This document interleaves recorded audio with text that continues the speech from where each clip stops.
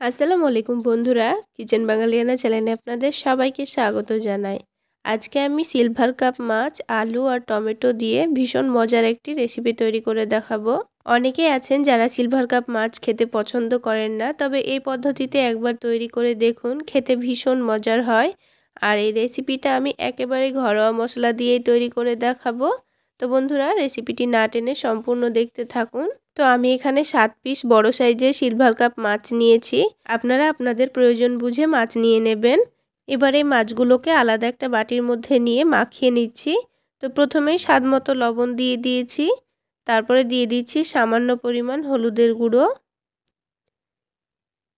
তারপরে এখানে দিয়ে দেব এক টেবিল চামচ পরিমাণ সরিষার তেল। এখানে সরিষার তেলটা দিয়ে মাখিয়ে নিচ্ছি।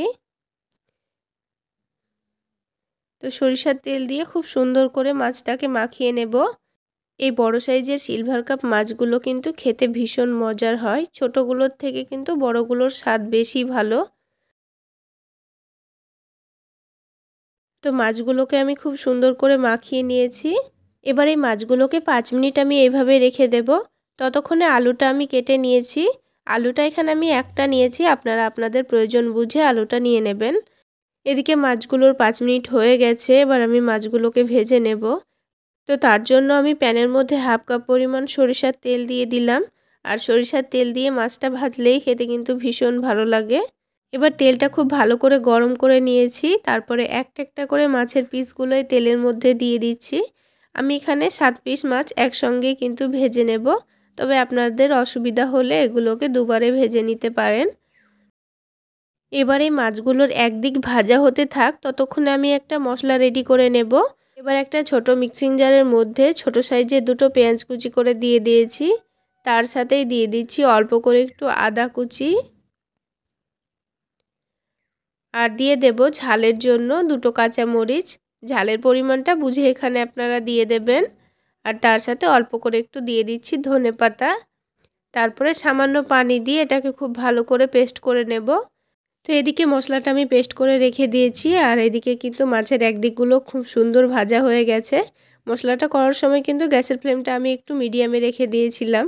তারপর আবারও গ্যাসের ফ্লেমটা একটু বাড়িয়ে দিয়েছি, এবার মাছের অপর দিকটাও খুব ভালো করে ভেজে নেব। মাছগুলো একটু খুব সুন্দর কালার চলে আসা পর্যন্ত আমি ভেজে নিয়েছি, আর একটু লাল লাল করে ভেজে নিলে মাছগুলো খেতে কিন্তু ভালো লাগে। তো সবগুলো মাছ ভাজা হয়ে গেছে, এবার আমি একটা একটা করে তেলটা ঝরিয়ে নিয়ে তুলে নিচ্ছি। তো সবগুলো মাছ তুলে নিয়েছি। এবার মাছ ভাজা তেলের মধ্যে আলুগুলোকেও ভেজে নেব। এখানে আলুগুলোকেও আমি মাছের মতো লাল লাল করে ভেজে তুলে নেব। তো আলুটা এখানে লাল লাল করে ভাজতে ভাজতেই কিন্তু আলুটা অর্ধেকটা সেদ্ধ হয়ে গেছে। এবারে এই আলুগুলোর তেলটা ঝরিয়ে নিয়ে আমি তুলে রাখছি। তারপরে বাকি তেলের মধ্যে দিয়ে দিচ্ছি হাফ চা চামচ মতো কালো জিরা। কালো জিরা দিলেই মাছ রান্নার টেস্টটা কিন্তু অনেকটাই বেড়ে যায়। তো কালো জিরা দেওয়ার পর দিয়ে দিচ্ছি একটা মিডিয়াম সাইজের পেঁয়াজ কুচি। এবারে পেঁয়াজটাকে লাল করে ভেজে নিতে হবে। তো পেঁয়াজটা লাল হওয়া পর্যন্ত আমি খুব সুন্দর করে ভেজে নিয়েছি। এবার দেখুন পেঁয়াজটা কিন্তু খুব সুন্দর লাল হয়ে গেছে। ঠিক এই পর্যায়ে এবার এখানে টমেটো দুটোকে কুচি করে দিয়ে দিচ্ছি। আর টমেটো দেওয়ার পর এখানে স্বাদ মতো লবণটাও দিয়ে দেব। টমেটোর মধ্যে প্রথমেই লবণটা দিয়ে দিলে কিন্তু টমেটোটা খুব তাড়াতাড়ি গলে যায়। তো আমি এখানে টমেটোটা কুচি করে দিয়েছি। চাইলে আপনারা টমেটোটা ব্লেন্ডের মধ্যে ব্লেন্ড করেও দিতে পারেন। সেক্ষেত্রে টমেটোটাকে প্রথমে ভেজে নেবেন। তো টমেটোটা খুব ভালো করে ভাজা হওয়া পর্যন্ত এইভাবে নাড়াচাড়া করে নেব। তো কিছুক্ষণ পর এই টমেটোটা কিন্তু খুব সুন্দর ভাজা হয়ে গেছে আর অনেকটা গলেও গেছে। তবে আরও ভালো করে চামচটা দিয়ে আমি গলিয়ে দিচ্ছি। আর টমেটোটা দেখুন খুব সুন্দর ভাজা হয়ে গেছে।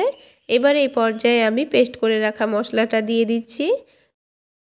এবার এই মশলাটাকে খুব ভালো করে কষিয়ে নিতে হবে। মশলাটা একটু সময় নিয়ে কষিয়ে নিলে কিন্তু রান্নার টেস্টটা অনেকটাই বেড়ে যায়, তাই মশলাটাকে একটু সময় নিয়ে কষিয়ে নিতে হবে। তো প্রথমে এই মশলাটাকে এইভাবে আমি তিন থেকে চার মিনিট অনবরত নাড়াচাড়া করে ভেজে নিয়েছি। তো মশলাটা খুব ভালো করে এবার ভাজা হয়ে গেছে। এবার এখানে কিছু গুঁড়ো মশলা দিয়ে দেব। তো প্রথমে হাফ চা চামচ পরিমাণ হলুদের গুঁড়ো দিয়েছি। হাফ চা চামচ পরিমাণ ভাজা জিরা গুঁড়ো আর হাফ চা চামচ পরিমাণ ধনে গুঁড়ো। আর এখানে দিয়ে দেব ঝালের জন্য অল্প করে একটু লাল মরিচের গুঁড়ো। আর তার সাথে রান্নার টেস্টটা ব্যালেন্স করার জন্য অল্প করে একটু চিনি দিয়েছি। যেহেতু আমি এখানে কাঁচামরিচ দুটো মশলার সঙ্গে পেস্ট করেছিলাম, তাই আমি এখানে অল্প করে মরিচের গুঁড়োটা দিয়েছি। এবার ব্লেন্ডারটা ধুয়ে অল্প করে একটু পানি দিয়ে দিলাম। এবার মশলাটাকে একটু ভালো করে নাড়াচাড়া করে মিশিয়ে নিচ্ছি। এবার এই মশলাটাকে পাঁচ থেকে ছয় মিনিট খুব ভালো করে কষিয়ে নিতে হবে। তো এবার এখানে ভেজে রাখা আলুগুলো দিয়ে দেব, তাহলে আলুটাও সেদ্ধ হয়ে যাবে আর মশলাটাও ভালোভাবে কষানো হয়ে যাবে। তো এবার আলুগুলো দিয়ে একটু ভালো করে নাড়াচাড়া করে মিশিয়ে নিচ্ছি। তারপরে ঢাকনা দিয়ে ঢেকে এটাকে পাঁচ মিনিট মতো এভাবেই রেখে দেব।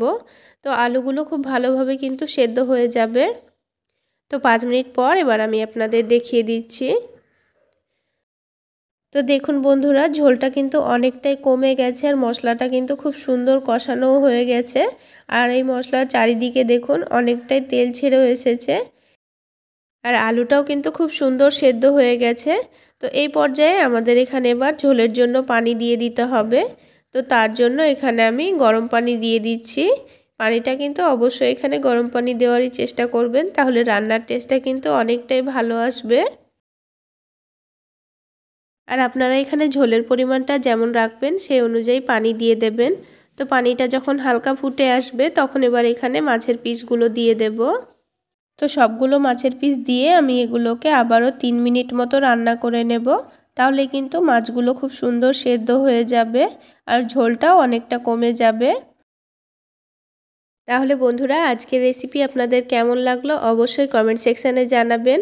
আর ভালো লাগলে একটা লাইক শেয়ার করে দেবেন। সেই সাথে আমার ইউটিউব চ্যানেল থেকে দেখে থাকলে চ্যানেলটি সাবস্ক্রাইব করে দেবেন। আর ফেসবুক পেজ থেকে দেখে থাকলে পেজটি ফলো করে দেবেন। তো আমি এখানে তিন মিনিট গ্যাসের ফ্লেমটা বাড়িয়ে রেখে এটাকে সেদ্ধ করে নিয়েছিলাম। তারপরে লোতে করে আবারও দুই মিনিট রেখে দিয়েছি। আর দেখুন, চারিদিক থেকে কি সুন্দর তেল ছেড়েও এসেছে। তারপর নামানোর আগে অল্প করে একটু ধনেপাতা কুচি দিয়ে দেব। তো আপনাদের হাতের কাছে যদি ধনেপাতা না থাকে, তাহলে না দিলেও চলবে। তো অল্প করে একটু চারিদিক থেকে ধনেপাতা কুচি দিয়ে হালকা হাতে একটু নাড়াচাড়া করে দিচ্ছি। হালকা হাতে নাড়াচাড়াটা করে দিতে হবে, তা না হলে মাছগুলো ভেঙে যেতে পারে। তাই আলতো হাতে এটা আমি নাড়াচাড়া করে দিচ্ছি। এবার আমি গ্যাসের ফ্লেমটা বন্ধ করে দেব। তো বন্ধুরা, একবার হলো এইভাবে মাছ রান্না করে খেয়ে দেখবেন। খেতে কিন্তু ভীষণ মজার হয়। একবার খেলে আবার বানাতে ইচ্ছে করবে। তো এবার কিছুক্ষণ ঠান্ডা হয়ে যাওয়ার পর মাছটা দেখুন, দেখতে কতটা লোভনীয় লাগছে। আর খেতেও কিন্তু ভীষণ মজার হয়েছিল। তাহলে বন্ধুরা, আজকে এই পর্যন্ত সকলে অনেক বেশি ভালো থাকবেন, সুস্থ থাকবেন। দেখা হচ্ছে আরও একটি নতুন রেসিপি নিয়ে নেক্সট এপিসোডে